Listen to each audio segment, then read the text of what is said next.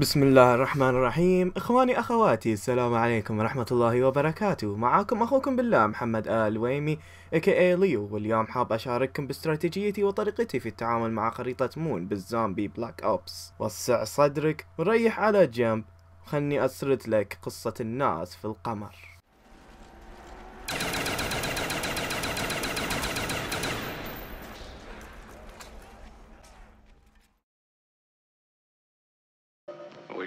the separation here on the ground.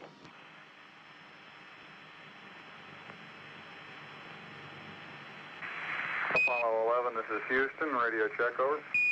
1969 السنة اللي نجحت فيها مهمة أبولو 11 ونتيجتها هبوط أول إنسان على سطح القمر نيل أرمسترونغ وباز ألدرين هم الاثنين اللي نزلوا شخصيا في القمر الشخص الثالث مايكل كولينز كان يحوم ال orbit كان يوم تاريخيا للشعب الأمريكي والرئيس جون إف كندي لكن الكثير كذبوا هالهبوط بأسباب كثيرة. ممكن أعظم سبب يكون وجود زومبي على سطحها. نعم زومبي ليس كأي زومبي نعرفه. زومبي قمري مختلف عن زومبي أرضي. أخطر أنواع الزومبي لعدة أسباب. كونهم ينجون درجة حرارة 153 تحت الصفر وما يحتاجون لبس قناع فضائي. وألعن ما في السالفة يبون مخك وبالنسبة لهذول الزومبي مفجوعين لمخ سنين وسنين من دون معرفة كيف طعم أكلهم المفضل. إذا كان طازج لا تخاف لا تخاف أنا معك. أنت بس اسمعني زين. ومالك إلا تكون آخر ضيف هالزومبي يشوفونه في القمر. Moon آخر خريطة زومبي رسمية ل Black Ops تعتبر من الخرائط السهلة والصعبة في نفس الوقت بسبب أشياء كثيرة ممكن إنها تصير. المميز في هالخريطة إن من البداية الطاقة بتكون مشتغلة وجنبك جهاز Pack-a-Punch وبرادات Juggernaut أو Speed Cola. كل ما تحتاجه في البداية فحط على الزومبي وخلاص. مع السلامة هذا كيف تلعب.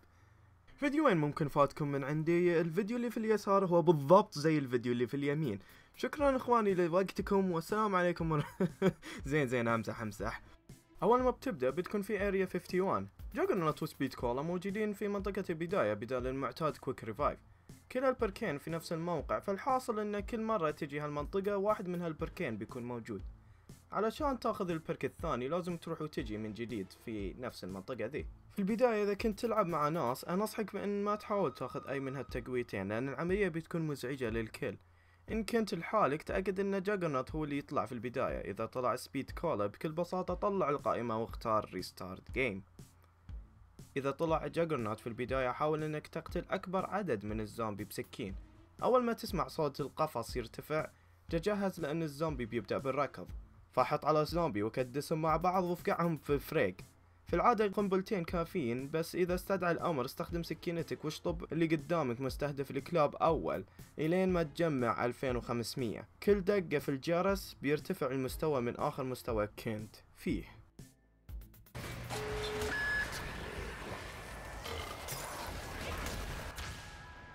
بعد ما تترك الأرض وتطب في القمر يبدأ اللعب الحقيقي للزومبي أول ما بتلاحظ أن حركتك مختلفة القفز بيكون أطول لذلك انتبه وانت صاعد. الشخصية بتنقز على كيفها بعض الأحيان وممكن إنك تنتكب الشيء الجديد الثاني في هالخريطة الرجل الفضائي هاجي مكهجنات الأخ اللي يتمشى حواليك. إذا احتضنك بيطيرك في مكان عشوائي من المناطق المفتوحة غير إنه ممكن يأخذ بيرك من عندك. برضو عشوائيا.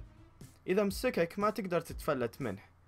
شخصيا كنت أول أتفلت من أحضانه إذا ركضت الجهة المعاكسة له. وأنقز. بس آه، هاليومين حاولت ما أقدر أنحاش من قبضته زي أول. ما جيت سالفته يبيله نعرفه بألمايرا علشان يتأدب ويعقل.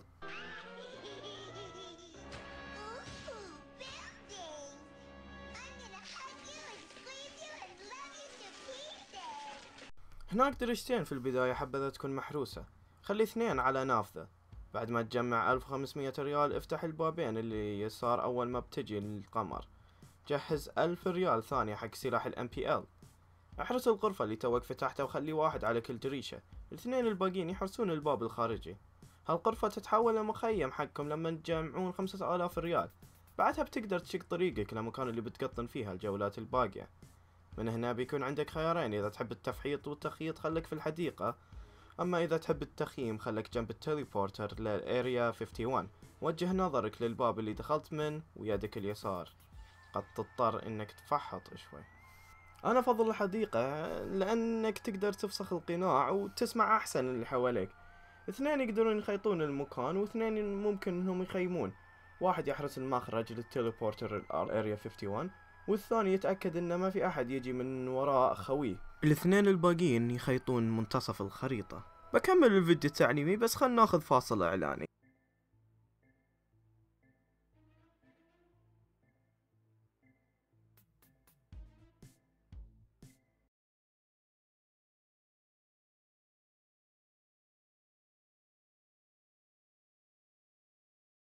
قد تمنيت تحصل على Max Ammo بس اللعبة تسوي لك trolling.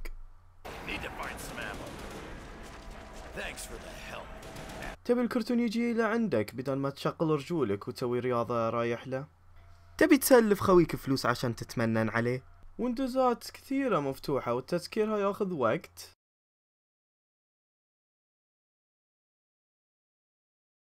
هل هذا يخليك تقلب النظام إلى Macintosh ولا Linux؟ احمد ربك اللي وفر لك الحل. جديد من ترايوكسس أعرفكم على جهاز الهكر تصليح الويندوز أسرع مع الهكر الآن بإمكانك تهكير ال drops وتقلبها إلى Max Ammo wow. كرتون بعيد عنك. لا تخاف هالجهاز واسطتك أقول لك حط سلاح أنا فوق النظام. إيتاء الزكاة ولا أسهل. الجميع سيعمل أي شيء علشان يأخذ الجهاز منك. سارع بطلب نسختك لأن الكمية محدودة. جهاز واحد لكل قاعدة قمرية. أعود أعطاني اطلب جهازك الآن. احذروا التقليد.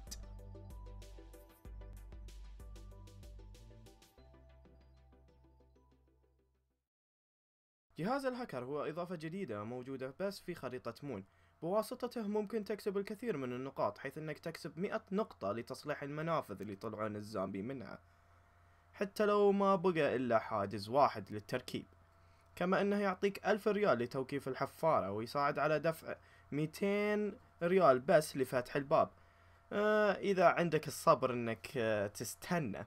مو بس نقاطك اللي بتكون متهنية من الجهاز ولكن حتى التأثيرات اللي بتسويها حيث إنه ممكن ب 600 ريال تغير حظك اللي طلع لك من الكرتون وإذا هكرته من جديد ممكن إنك تشارك السلاح وتسترجع فلوسك.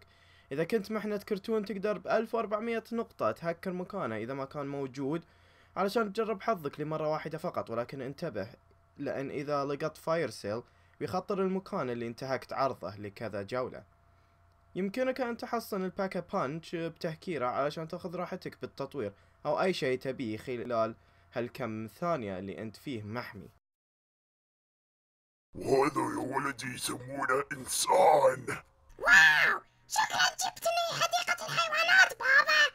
أوه يلا خنطق لأنه مختلف عنه كما أن لجهاز الهكر القدرة على قلب الأسعار بين الرصاص العادي والمطور بثلاثة آلاف ريال. للجهاز ميزة ظريفة أنه ينقل 500 نقطة من حسابك إلى أي عضو من أعضاء فريقك. هذه الميزة جدا مفيدة في حال أنه يحتاج إلى القليل لشراء شيء مهم زي الجاجرنات. لكن أهم ميزة من كل هذه الإمكانية للجهاز هو قلب أي drop إلى Max Ammo بدفع 5000 ريال. هذا الميزة جدا جدا مهمة خاصة في الجولات المتأخرة وللأسلحة اللي ما تقدر تشتري رصاص لهم. لكن لاحظ أن بذلتك الفضائية تتبدل لذلك ما تقدر تستخدم الهاكر في غرفة ما فيها أكسجين. هذا ليه أفضل الحديقة عن المنطقة اللي خارج جنب ال teleporter لل Area 51 لأن غير أنك تقدر تخلي شخصيتك تمشى بدون قناع الهاكر بيكون معاك! أتمنى أنكم استمتعتوا بهذا الفيديو ويكون السبب لتحسين لعبكم في الزومبي.